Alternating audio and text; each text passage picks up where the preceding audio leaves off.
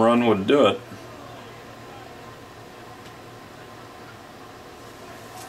The championship winning run at the plate.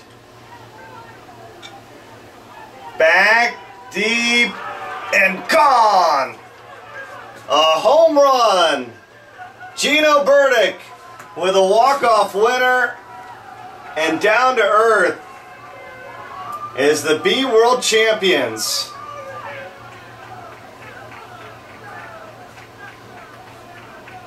Gino Burdick looked took the first pitch and hit it high and far. I think he's put a little spin on it too to get it out of here.